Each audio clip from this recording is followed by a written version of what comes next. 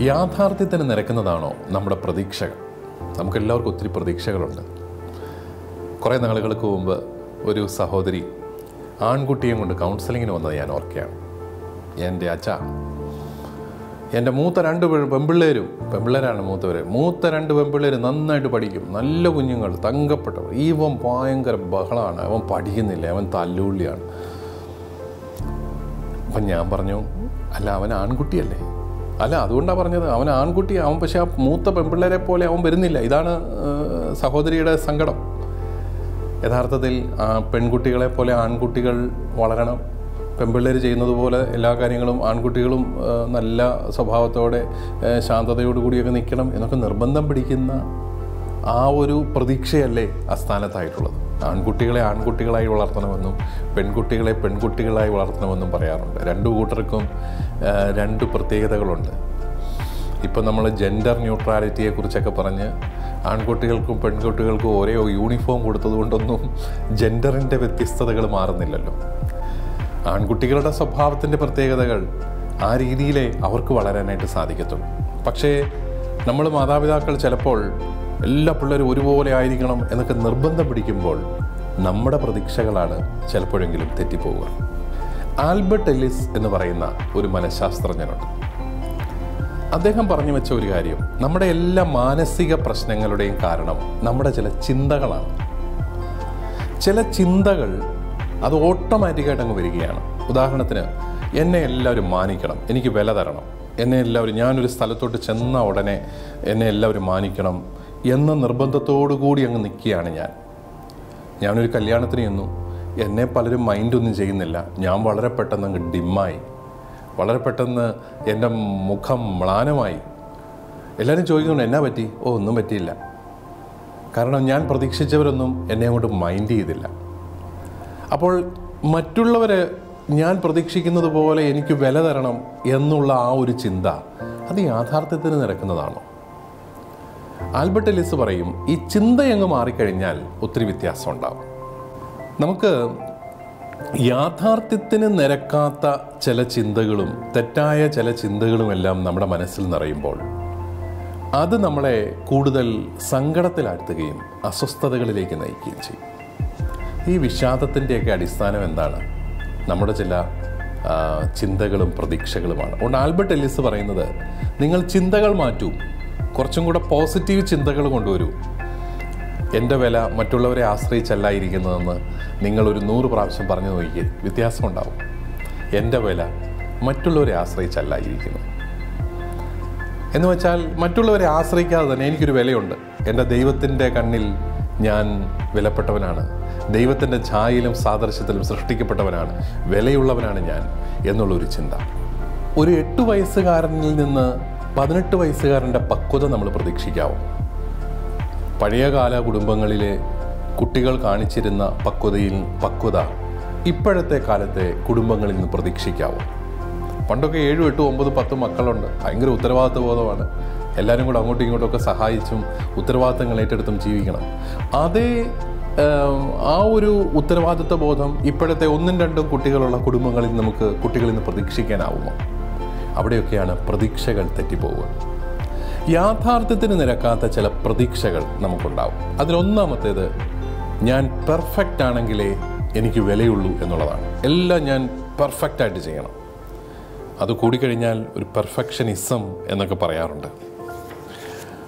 എല്ലാ കാര്യങ്ങളും ഞാൻ ആഗ്രഹിക്കുന്നത് പോലെ ഏറ്റവും പെർഫെക്റ്റായിട്ട് ചെയ്യണം. ഇത് കൂടിക്കഴിഞ്ഞാൽ ചിലർ ജീവിതകാലം മുഴുവൻ പൊടി തുടച്ച് പൊടി തുടച്ച് ജീവിതം മുഴുവൻ കളയും എന്ന് പറയാറുണ്ട്. കാരണം അവർക്ക് ഈ പൊടിയൊന്നും സഹിക്കാൻ പറ്റുന്നില്ല. രണ്ട് മൂന്ന് പ്രാവശ്യം എല്ലാം തുടച്ച് തൂത്ത് അവസാനം അവന് അതിനെ നേരം കാണത്തുള്ളൂ. വേറെ ഒന്നും ചെയ്യാൻ നേരം കാണുകയില്ല അതുപോലെ എല്ലാം നല്ല പെർഫെക്റ്റ് ആയിരിക്കണം. നമ്മുടെ കാര്യങ്ങളെല്ലാം നമ്മൾ ആഗ്രഹിക്കുന്ന രീതിയിൽ ക്രമത്തിൽ പോകണം എന്നൊക്കെ നിർബന്ധം പിടിച്ച് ജീവിക്കുന്ന ആൾക്കാരുണ്ട്. വയസ്സാം കാലത്ത് ഒരു അമ്മച്ചി എന്നോട് പറഞ്ഞു പിതാവേ എനിക്ക് ഡൈവേഴ്സ് വേണം ഭർത്താവില്ല. ഞാൻ പറഞ്ഞു എന്റെ അമ്മച്ചി അങ്ങനെ പറയാതെ. കാരണം ഇനിയിപ്പം ഇത്രയും വർഷമൊക്കെ ആയില്ലേ ഉടനെ പറഞ്ഞു സഹിക്കാൻ പറ്റുന്നില്ല പിതാവേ. അതെന്താ? ഇയാൾക്ക് ഇത്രയും നാളും ജോലി ഉണ്ടായിരുന്നു. ഓഫീസിൽ പോയി അയാൾ ഭരിച്ചോളുമായിരുന്നു. ഇപ്പോഴത്തെ ഈ അടുക്കളയിൽ വന്ന ഭരണം അതെന്താ? ഞാൻ പയറരിയുന്നത് ശരിയാകുന്നില്ല കറി ഉണ്ടാക്കുന്നത് ശരിയാകുന്നില്ല ഞാൻ ഉടുത്തിരിക്കുന്ന സാരി ശരിയാകുന്നില്ല എന്നെല്ലാം പറഞ്ഞ് വയസ്സാം കാലത്ത് എന്റെ പുറകെ നടത്തിയിരിക്കുക എന്നെ എങ്ങാണ്ട് ജയിലിൽ പിടിച്ചിട്ട പോലെ എനിക്ക് തോന്നുന്നു. സർവനേരവും ഇദ്ദേഹം എന്റെ പുറകെയാണ്. ഞാൻ ഈ അച്ചായനോട് ചോദിച്ചു അച്ചായ ശരിയാവോ? എന്നാൽ അദ്ദേഹം പറയാം ഞാൻ അവൾ നന്നായിക്കോട്ടെന്ന് ഓർത്ത് ഞാൻ പറയുന്ന പിതാവേ.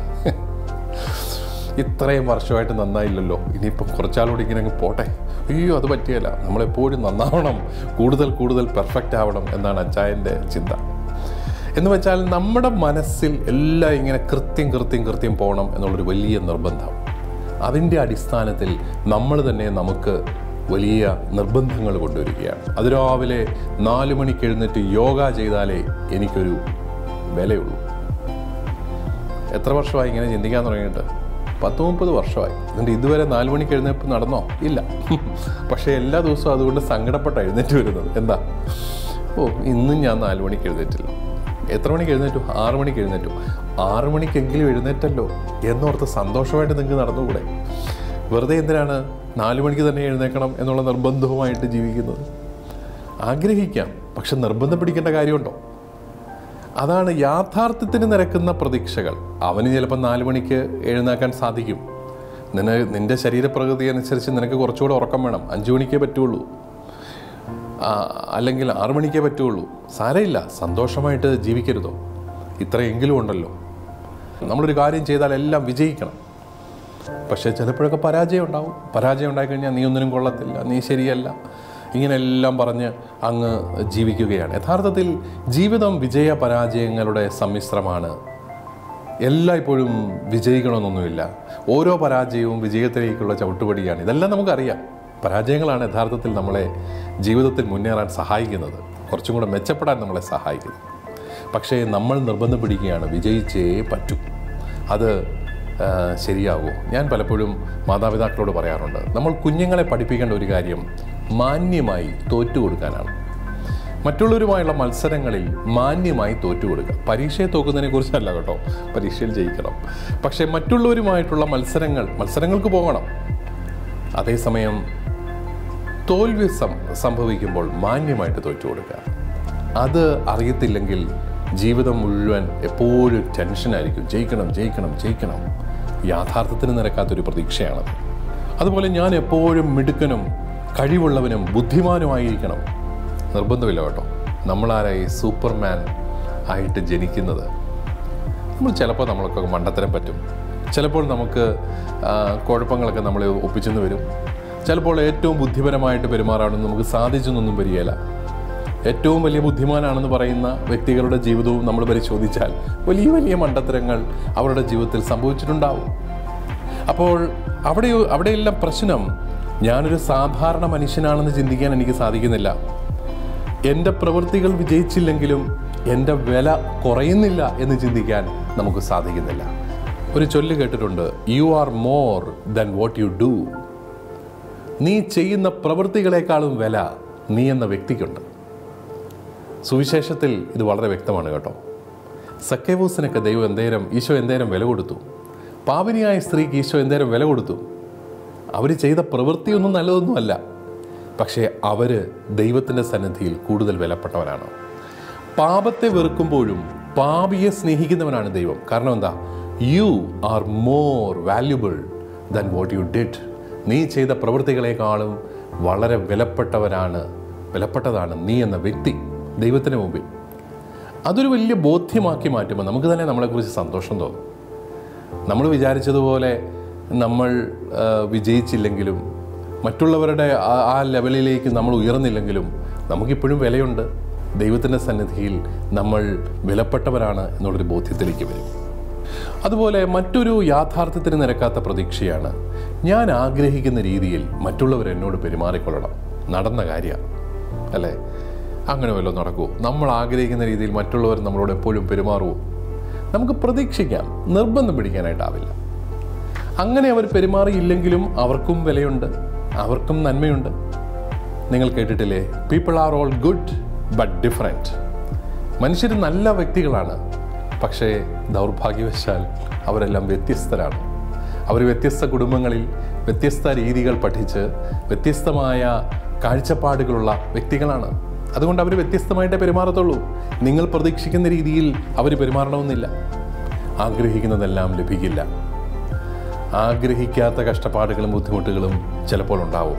അവിടെയും ലോകത്തെയും ജീവിതത്തെയും അതിന്റെ യാഥാർത്ഥ്യത്തോടെ നോക്കിക്കാണാൻ സാധിക്കുക എന്നുള്ളതാണ്. സുവിശേഷത്തിന്റെ ഏറ്റവും വലിയ നന്മ സുവിശേഷം നിങ്ങൾക്കൊരിക്കലും യാഥാർത്ഥ്യത്തിന് നിരക്കാത്ത വാഗ്ദാനങ്ങൾ തരുന്നില്ല. ശിഷ്യരോട് പറഞ്ഞ എന്താണ്? നിങ്ങൾക്ക് ഈ ലോകത്തിൽ പീഡനങ്ങളും വരാനിരിക്കുന്ന ലോകത്തിൽ സ്വർഗവും സ്വർഗീയ ആനന്ദവും ലഭിക്കുമെന്നാണ് പറഞ്ഞിരിക്കുന്നത്. അല്ലാതെ നിങ്ങൾ എന്നെ അനുഗമിച്ചു കഴിഞ്ഞാൽ നിങ്ങൾക്ക് ഏതാണ്ട് സുഖകരമായ കാര്യങ്ങൾ നടക്കാൻ പോകുന്നു. നിങ്ങൾ എന്നോട് പ്രാർത്ഥിച്ചു കഴിഞ്ഞാൽ എല്ലാ പ്രശ്നങ്ങളും കൊണ്ട് മാറുന്നു. ഇതൊന്നും കർത്താവ് വാഗ്ദാനം ചെയ്തിട്ടില്ല. കർത്താവ് വാഗ്ദാനം ചെയ്തിരിക്കുന്ന യഥാർത്ഥത്തിൽ ശിഷ്യർക്ക് വാഗ്ദാനം ചെയ്തിരിക്കുന്നത് പീഡനങ്ങളാണ് ദുരന്തങ്ങളാണ്. അതുകൊണ്ടാണ് പീഡനങ്ങളിലൊന്നും സഭ തളരാത്തത്. യാഥാർത്ഥ്യത്തിന് നിരക്കുന്ന പ്രതീക്ഷകൾ ഉണ്ടാവുക ചിന്തകൾ ഉണ്ടാവുക ഏറ്റവും പ്രധാനപ്പെട്ടതാണ്. മാറാത്ത പ്രതീക്ഷകളും നിർബന്ധങ്ങളും പലപ്പോഴും നമ്മളെ അസ്വസ്ഥതകളിലേക്ക് കൊണ്ടുവരും. നമുക്ക് യാഥാർത്ഥ്യത്തിന് നിരക്കാത്ത പ്രതീക്ഷകളെ മാറ്റുവാൻ പുതിയ പ്രതീക്ഷകൾ കൊണ്ടുവരാൻ പറ്റും. ഉദാഹരണത്തിന് ഞാൻ പ്രതീക്ഷിക്കുന്നത് പോലെ മറ്റുള്ളവരെല്ലാവരും എന്നോട് പെരുമാറണമെന്നുള്ള ആ പ്രതീക്ഷയെ മാറ്റിക്കൊണ്ട്. മറ്റുള്ളവർക്ക് അവരവരുടേതായ പ്രശ്നങ്ങളും അവരവരുടേതായ നന്മകളും ഒക്കെ ഉണ്ട് അതനുസരിച്ച് അവരെന്നോട് പെരുമാറിക്കൊള്ളട്ടെ എന്നൊരു സ്വാതന്ത്ര്യം കൊടുക്കുക. സ്നേഹത്തിന്റെ ഒരു വലിയ അടയാളം വഴക്കു പിടിക്കാനുള്ള സ്വാതന്ത്ര്യമാണ് എന്ന് പറയാറുണ്ട്. എന്നെ കുറ്റം പറഞ്ഞു നിങ്ങൾ? കുഴപ്പമില്ല കേട്ടോ. എന്നാലും എനിക്ക് നിങ്ങളോട് സ്നേഹത്തിന് കുറവൊന്നുമില്ല. കാരണം നിങ്ങൾ മനുഷ്യരല്ലേ. അതുകൊണ്ട് കുറച്ച് കുറ്റമൊക്കെ പറയും. കുറ്റം പറയാനുള്ളൊരു സ്വാതന്ത്ര്യം ഞാൻ നിങ്ങൾക്ക് തന്നു. എന്നോട് പിണങ്ങാനുള്ള ഒരു സ്വാതന്ത്ര്യം ഞാൻ നിങ്ങൾക്ക് തന്നു. നമുക്ക് അങ്ങനെ ഒരു സ്വാതന്ത്ര്യം ഏറ്റവും കൂടുതൽ തരുന്ന ആരാ? നമ്മുടെ അമ്മമാരാ. ഇത്ര പ്രാവശ്യം നമ്മൾ അപ്പനോടും അമ്മയോടും പിണങ്ങിയിട്ടുണ്ട് ഓരോ കാര്യത്തിന് പക്ഷെ അവരാരെങ്കിലും നമ്മളെ അതിന്റെ പേര് മാറ്റി നിർത്തിയിട്ടുണ്ടോ? നല്ല തല്ലൊക്കെ തന്നിട്ട് ഭക്ഷണം കൊണ്ട് മുന്നിൽ വെക്കത്തില്ല? കഴിക്കണമെന്ന് പറയുന്നതാണ് അമ്മ. കാരണം എന്നാ എന്നാലും നീ എന്റെ മോനാണ്. അതാണ് സ്നേഹത്തിന്റെ ഒരു പ്രത്യേകത. സ്നേഹം എന്ന് പറയുന്നത് നമ്മൾ പ്രതീക്ഷിക്കുന്നത് പോലെ എല്ലാം നടക്കുമ്പോഴല്ല. പ്രതീക്ഷിക്കാതെ സംഭവിക്കുമ്പോഴും ചേർത്ത് പിടിക്കുന്ന ഉൾക്കൊള്ളുന്ന ഒരു രീതിയാണത്. യാഥാർത്ഥ്യത്തിന് നിരക്കാത്ത പ്രതീക്ഷകളെക്കുറിച്ച് പറയുമ്പോൾ യാഥാർത്ഥ്യത്തിന് നിരക്കാത്ത ദൈവസങ്കല്പത്തെക്കുറിച്ച് നമ്മൾ ചിന്തിക്കണം. ഈ കോവിഡ് കാലം യഥാർത്ഥത്തിൽ യാഥാർത്ഥ്യത്തിന് നിരക്കാത്ത കുറേ ദൈവ സങ്കല്പങ്ങൾ നമ്മുടെ മനസ്സിൽ നിന്ന് മാറ്റി കിട്ടി. നമ്മളൊക്കെ ദൈവത്തെ ഒരു മാജിക്കുകാരനായിട്ട് കരുതി വന്നിരുന്നു. നമ്മൾ പറയുന്നതെല്ലാം സാധിച്ചു തരും. പണ്ടൊരു കൊച്ചു പ്രാർത്ഥിച്ചതുപോലെ ഈശോയെ പപ്പായെ അനുഗ്രഹിക്കണേ മമ്മിയെ അനുഗ്രഹിക്കണേ ഇന്ത്യയുടെ തലസ്ഥാനം ബോംബെ ആക്കണേ. കാരണം എന്താണ്? അവന് പരീക്ഷയുണ്ടായിരുന്നു. പരീക്ഷയിൽ ഇന്ത്യയുടെ തലസ്ഥാനം ഏതാണ്? ബോംബെ ഡൽഹി കൽക്കട്ടയായിരുന്നു പാവം കൊച്ച് ബോംബെ എന്നാണ് എഴുതിയത്. ഇനി ആ ഒരു മാർക്ക് കിട്ടണമെങ്കിൽ ഒരേ ഒരു മാർഗം. ഇന്ന് രാത്രി ദൈവം ഇടപെട്ട് അടിയന്തരമായി ഇന്ത്യയുടെ തലസ്ഥാനം മാറ്റണം നമ്മുടെ പ്രാർത്ഥനകൾ പലപ്പോഴും ദൈവത്തെ മാജിക്കുകാരനായി മാറ്റി ദൈവത്തെ ഒരു ദാസനാക്കി മാറ്റി. നമ്മൾ പറയുന്നതെല്ലാം സാധിച്ചു തരുന്ന ദൈവം. പക്ഷേ ഈ ദൈവം കുരിശിൽ മരിച്ച ദൈവമാണ്. ഒരു പീഡനത്തെയും മാറ്റിക്കളയാത്ത ദൈവമാണ്. അതാണ് യാഥാർത്ഥ്യത്തിന് നിരക്കുന്ന ദൈവസങ്കല്പം ഏറ്റവും പ്രധാനപ്പെട്ടതാണ്.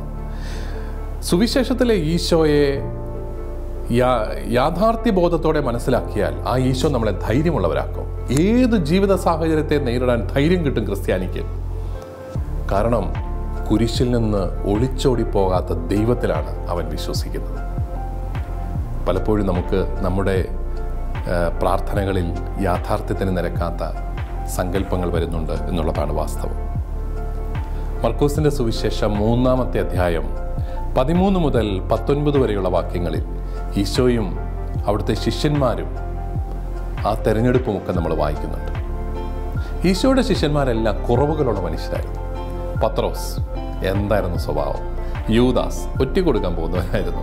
തീവ്രവാദിയായ ശമയനുണ്ടായിരുന്നു സംശയക്കാരനായ തോമയുണ്ടായിരുന്നു കസേര നോക്കി നിൽക്കുന്ന സബദീപുത്രന്മാരുണ്ടായിരുന്നു. പക്ഷേ ഈശോ അവരെ എല്ലാം കൂടെ കൊണ്ടു നടന്നു മൂന്ന് വർഷം അവരിലൂടെയാണ് ലോകത്തെ രക്ഷിക്കാൻ കർത്താവ് ആഗ്രഹിച്ചത്. പെർഫെക്റ്റ് മനുഷ്യരുടെ പരിപൂർണരായ മനുഷ്യരുടെ ഒരു സമൂഹത്തെ അല്ല ഈശോ രൂപീകരിച്ചത് കുറവുകളുള്ള ഒരു സമൂഹത്തെ തന്നെയാണ് അവിടുന്ന് കൂടെ കൊണ്ടു നടന്നത്. നമുക്കും നമ്മുടെ കുടുംബത്തിലെ വ്യക്തികളുടെ നമ്മുടെ ഇടവകയിലെ വ്യക്തികളുടെ നമ്മുടെ സമൂഹത്തിലെ വ്യക്തികളുടെ കുറവുകൾ തിരിച്ചറിഞ്ഞ് അതിനപ്പുറത്താണ് അവരുടെ നന്മയെന്ന് തിരിച്ചറിഞ്ഞ് അവരെ അവരോടെല്ലാവരോടും ചേർന്ന് ജീവിക്കാനുള്ള യാഥാർത്ഥ്യ ബോധമുള്ള മനസ്സ് രൂപീകരിക്കാനായിട്ട് പരിശ്രമിക്കാം. രണ്ട് ചോദ്യങ്ങൾ നിങ്ങളുടെ വിചിന്തനത്തിനായിട്ട് ഞാൻ തരികയാണ്. മറ്റുള്ളവരെക്കുറിച്ചുള്ള നമ്മുടെ പരാതികളിൽ നിഴലിക്കുന്നത് യാഥാർത്ഥ്യത്തിന് നിരക്കാത്ത പ്രതീക്ഷകളാണോ? ആണെങ്കിൽ അവ ഏവയാണ്? രണ്ടാമത് എന്റെ പ്രതീക്ഷകളെ കുറച്ചുകൂടെ യുക്തിഭദ്രമാക്കാൻ ഞാൻ എന്ത് ചെയ്യണം? നിങ്ങളുടെ കുടുംബങ്ങളിൽ കൂടുതൽ സമാധാനം നിറയട്ടെ എന്ന് ആശംസിക്കുന്നു. അടുത്ത എപ്പിസോഡിനായിട്ട് നമുക്ക് കാത്തിരിക്കാം.